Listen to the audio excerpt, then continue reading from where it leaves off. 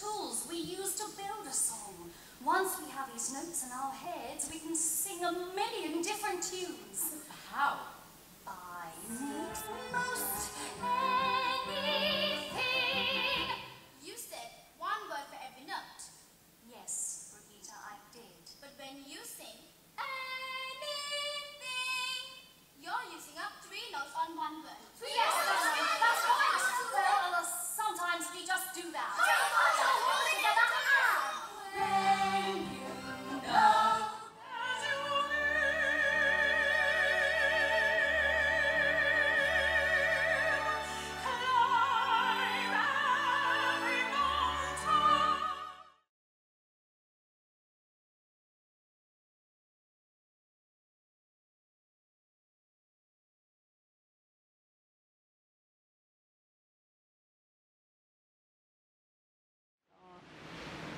Uh, 2006 was my earliest memory of Sound of Music. I didn't, um, I didn't watch the, the film until I got offered the job.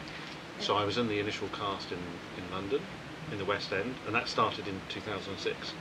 So I thought I'd better watch the movie to give myself an idea. I, it just never, it never come across my path. It wasn't something I was, I was, I was into. I mean, I, it's, it's, yeah, it's weird. I love musicals and I love plays, but I don't tend to watch them necessarily.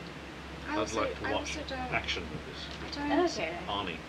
think there's a misconception that if you're an actor, you sit and you watch every Yeah. thing Mm. that's about acting. Or like I, for example, can't watch any any reality TV shows about singing or dancing Oh, because I started my career in a reality TV show and it kind of, you know, I can't watch it. But And people can sing a song. I hate, I hate dressing rooms where people just sing songs from shows. I have no idea what they are. Yeah, I just I don't think, know. Like I, I, I think that I'm, I'm personally sort of halfway. Where Nick is maybe more on the side of the scale, so he'll research when he is in something and he has, Mm. wants to learn about it. Yeah. And other actors are like, oh, I'm gonna bombard myself with every single new musical and movie. So I think I'm kind of between Nick and, and the others. Yeah, I, so I knew the story because I grew up with it, and my mom bought me the VHS, the, the video. Come on, you're not that old. I'm not- They I didn't have any of that. I had a VHS. Yeah. So I bought, I had that, and then I watched that as a child, and I loved, me, um, I loved Julie Andrews. So that was my first introduction to musical. Um, I always loved Liesl. When I was when I was younger, I, th- I thought Liesl was so pretty, and I actually got a signed autograph from Charmaine Carr for my opening night Hmm. for for Liesl from my at the time my Rolf at the time. He had written to her and she'd signed an autograph for me. How cool was that? So yeah, that was my sort of experience. Said dear Carmen, um, break a leg for tonight's show. you check his handwriting. Love Charmaine it's a, that's a hell of a gift to get. I'm sure he was. He was in his dressing room himself. Too, I think she has. You're just she, jealous you of can order Christopher Plummer didn't You say can order them online. Look what I did for you. You can order them online. I mean, maybe it's not even authentic, but Me first.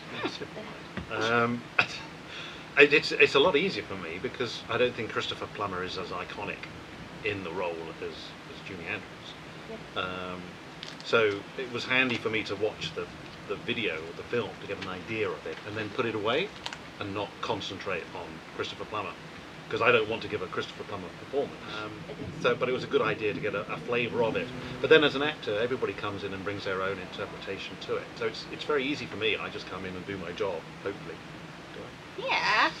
amazing. Um, and and and be as truthful as I can to that role.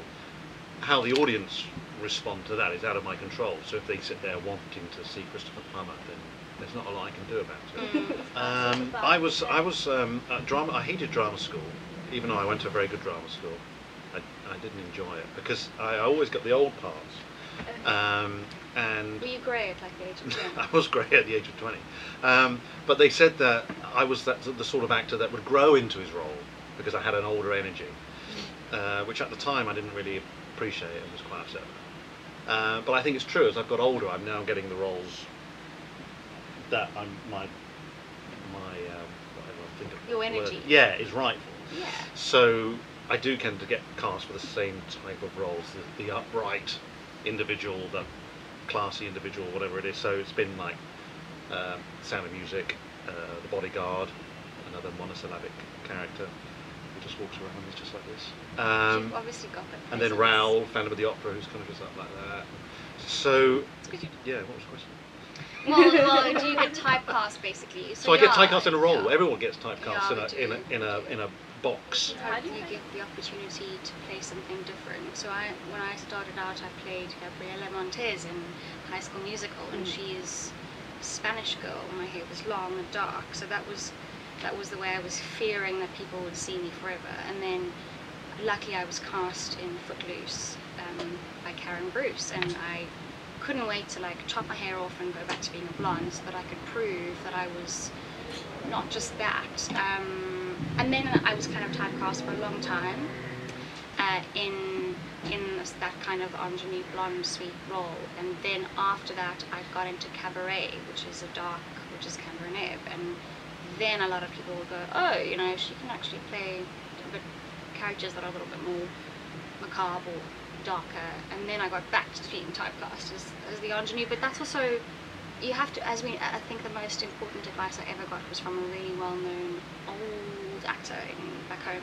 And he said that we should know our strengths and weaknesses and stop trying to put ourselves into places in the industry where we don't belong. And as much as we should challenge ourselves, we should also know realistically as actors where we are suited and where we aren't. Um, so if that's what I'm being- Wise words. I think so. When I'm being typecast is that at the moment that's great, but I, I think typecast, I don't, I don't like that word because we are actors, so we should be. But everyone has a everyone has a a look. yeah, and you know yourself Yeah. when you when you go to a show. Because just because I think that the way it does hamper us as actors is if if we we don't get considered for a role because of what we've done in the past and not because of the audition. So if you walk into an audition and you do a good audition for something people didn't expect, Yeah. and that's that's where the magic happens because they go, oh, she's not just this or it's not just that.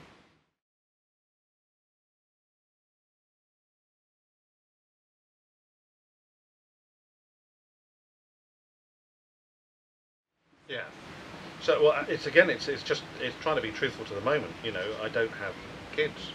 You know, so I, I can't relate to that really. I mean, I can I can, but as an actor, you just try and put yourself in that situation. So it's you know, if I was someone who'd lost his wife and was with his kids and had kind of lost contact with them, which is what the show starts as, it's kind of a little bit distant. I can relate to that, you know, so I'll, I'll kind of understand his part. I've never been in that part, but I can relate to it. And then when Maria comes in and kind of opens the door and, and then he falls in love again, I can relate to that, and so I can be truthful to that, even though I'm not experienced it. I can, you know, so that as an actor, that's what you're doing. So um, throughout the whole show, you're just trying to be truthful to that moment, and so it doesn't matter what other characters or other actors have done. It's it's my interpretation at that point that hopefully the audience is then, you know, believes. And I always, oh, sorry, I always think that I feel that as as Nick said, being truthful to the moment is about actually feeling it from inside of yourself and then coming out and, and being something that shows on the outside. I, I always feel like actors who work from the outside in, you can see the difference so quickly. So if you think, oh, I should be portraying that I'm sad, and I don't really feel sad. I don't find in my own truth, in my own life, in my own experience, where I actually find that emotion, then you can see the difference. Yeah. Um, when it comes from the outside, from the inside out, then that's when you can see the. the, the I think that's the, the mark of a truthful interpretation of a You character. can fake it though. a lot of actors. A lot of actors do, and they're really good at it. Very good tech, uh, technicians. Craft. That is a different skill,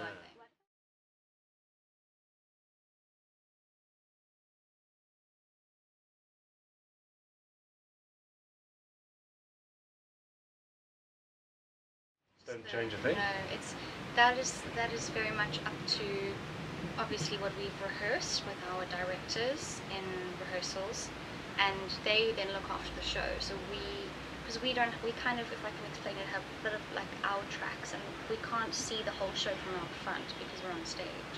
So the directors are there to make sure that that story is authentic in every country. We don't change anything. If there's a country that needs translation, we have subtitles. Um, obviously, the kids are very authentic to every country. That's a very important part of that does change, but their tracks don't change. The caliber of ch- child we cast doesn't change. Um, But that's important though. So every Yeah. every country you go to is getting the same show. exactly. And that's it's what that they want to see. They want to see that. Yeah, I've been doing it since 2006. Okay. On and on. Not not every day. I'm, I'm, um, but uh, there's always special moments in every production. But it's usually individual performances rather than because Yeah. the show is generally the same. And it, Yeah. even from London to touring to here, because I've done three different inc- incarnations of it, it's the same. Everybody, you know, the ch- same production is, is, is great. So you guys are getting a, a fab show. But then there are moments where you know there'll be a, a, a connection that you've not got before, or someone will say something in an intonation, and you, you can go. "Hmm, that was good." Uh, because as an actor, you, you are doing the same thing every day. And people always say, "How do you do it?" Well, one is it's not the same because you're trying to re- you're trying to create something new. So you're trying. So it's even though you're recreating, you're not trying to create.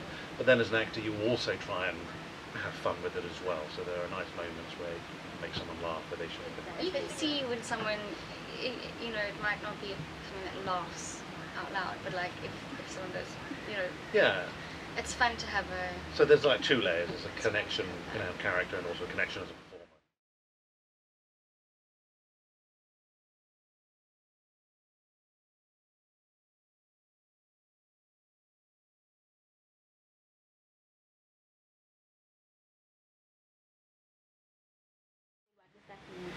Um, well, that I mean, that's one of the best parts of the show for me. Uh, you know, uh, is is because it's um, you know we have such great kids coming in and performing, and that's probably the first time that I kind of have much of an interaction with them. Because otherwise, it's, it's the beginning of Act One where I just blow whistles and uh, don't really connect with them. So it's nice to to to, to, to hear them sing as a, as a unit and as an actor. Then it, you're again you're it's able it's, it's possible for me to, to relate to that where I've seen my children for the first time again you know he's a man who used to sing around the house with his wife they used to play the ukulele the guitar and all of that now he, now he's taken music out of his life what a miserable bastard And Nicholas really does such justice to that moment on stage, and it's. And I'm not saying that because I like him. I'm saying that because it really is just such a beautiful moment, I and really it's so really gorgeous. and we have a moment as well because you know before the you kind of ask her whoever that is uh, to uh, to take the flower the edge Yeah, yeah, I kind of acknowledge the fact that yeah. that it's it's come from Maria that yeah. she's He kind of just does a little hit. yeah and she's made it and I can't look at You make it so beautiful. Like it really is. It reads so beautifully on stage. I just face upstairs you can't see any And it's human connect. it's human connection. Yeah. So it's natural to all of us, you know. Um, doesn't- you'll have to see it that's the moment we can't you know I know. I'm if it worked we can't fake it so Yeah. we have to be truthful to the moment so hopefully you'll get the same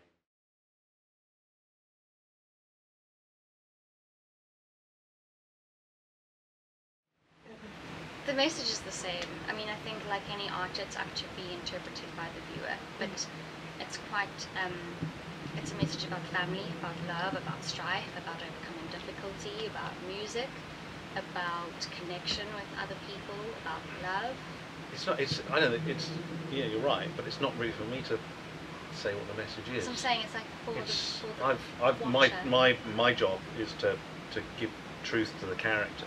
And then if you can take away from that a message I, I have no idea what their intention was when they wrote it if they wanted to give you a message but it's got all the old themes of love you know uh, and oppression and uh, you know getting away from tyranny and Literally. Everybody, please come to the Nelum Pokuna Theatre, well done. From the 14th to the 18th of February to see our wonderful production of The Sound of Music here with local children performers as well. It's going to be fantastic. We look forward to seeing you there. We're only here until Sunday, so alright. Bye.